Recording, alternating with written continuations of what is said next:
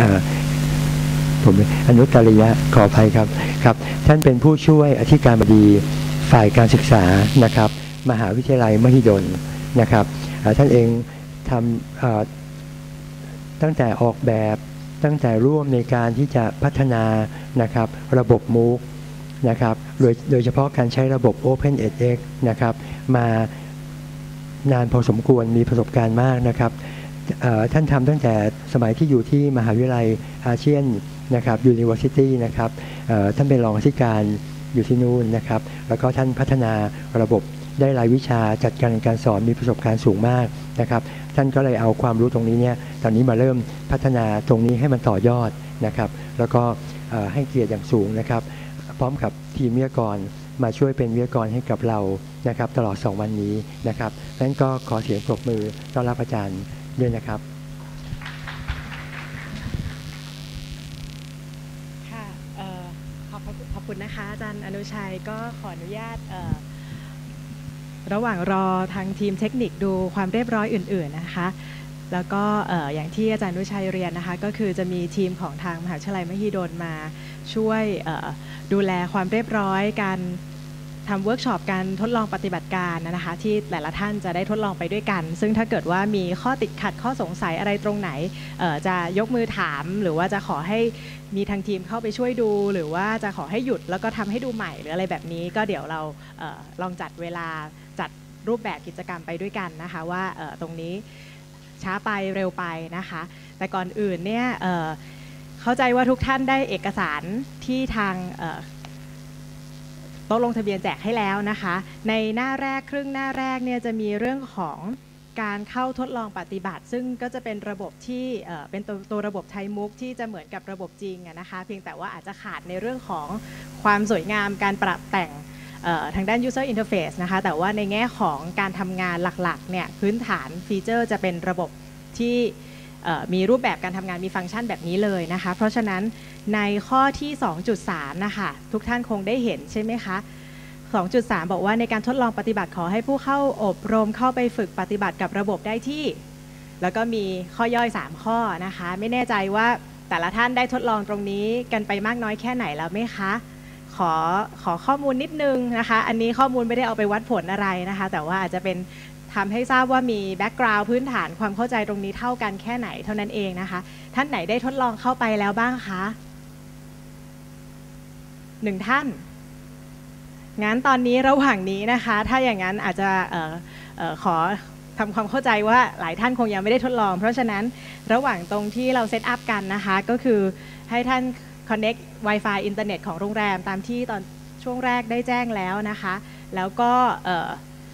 เข้าไปลงทะเบียน เข้าไปสร้างผู้ใช้ของตัวเอง ขึ้นมาตาม URL ตามตัวเลขนะคะ1 64.115.26.51 ค่ะอะเดี๋เสียบให้โอเคแล้วเดี๋ยวอ่าเดี๋ยวพอทางด้านเทคนิคเรียบร้อยแล้ว เดี๋ยวเรามาดูไปด้วยกันนะคะ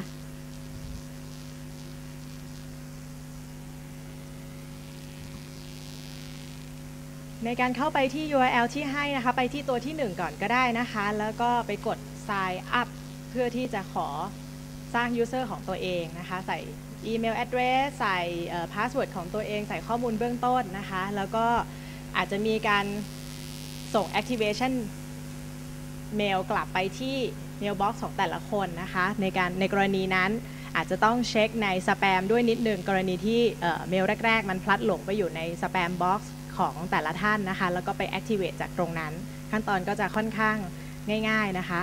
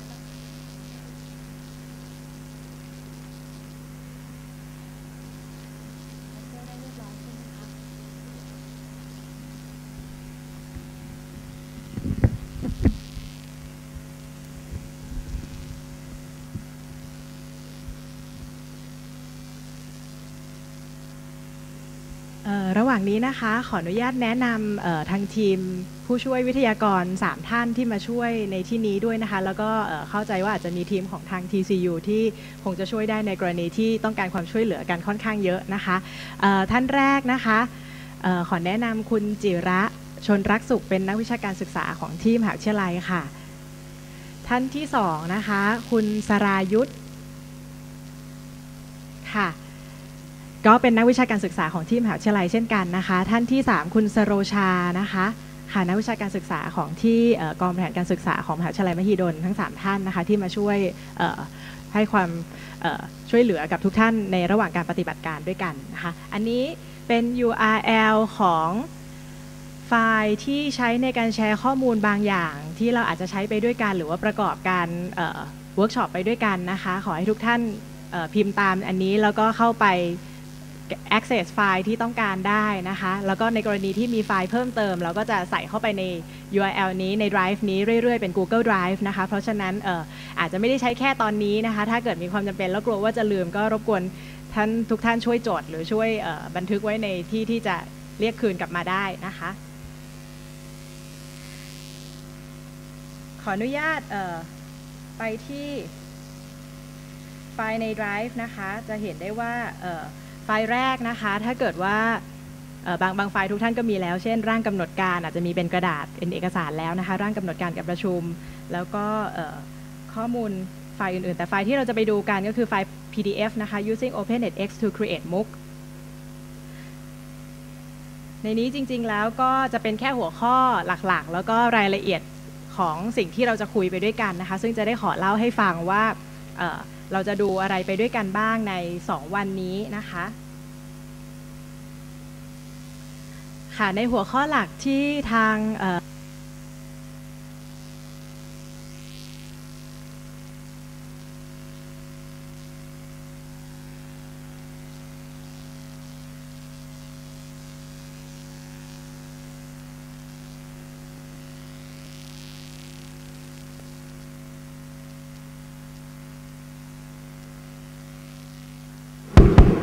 ฮัลโหลค่ะ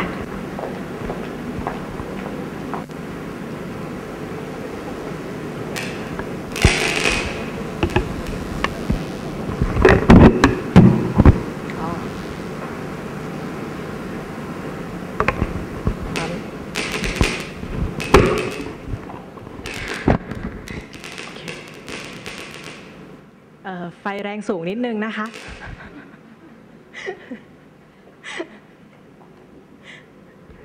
โอเค น่าจะได้แล้ว จะพยายามไม่ขยับตัวมากนะคะ จะได้ทำให้ทุกอย่างที่มันลงตัวอยู่แล้ว มันไม่เปลี่ยนแปลงไปจากนี้นะคะ ก็ขออนุญาตแนะนำชื่อเล่นตัวเองสั้น ๆนะคะ ก็คือชื่อเล่นว่าเก๋หลาย ๆ ท่านอาจจะรู้จักหรือว่าเรียกในนามอาจารย์เก๋ก็ได้นะคะ เพราะฉะนั้นจะได้เป็นกันเอง แล้วก็เราไปเวิร์กช็อปกันแบบบรรยากาศเป็นกันเองนะคะ ไม่เป็นทางการ มีข้อสงสัยติดขัดตรงไหนที่ต้องการจะถามก็ยกมือได้เลยนะคะ ไม่ต้องรอจนเอเราคุยกันจนจบ ก็หลักๆที่เราจะคุยกันในส่วนที่ทางดิฉันจะช่วยรับผิดชอบก็จะเป็นเรื่องของการเรียนรู้เครื่องมือสำหรับการสร้างรายวิชาการจัดการจัดกิจกรรม แล้วก็การประเมินผลใน OpenNetX หรือว่าในระบบที่ไทยมุกใช้อยู่นะคะ ก็คือระบบ OpenNetX นั่นเอง หัวข้อที่เราจะเรียนในช่วงแรกนะคะ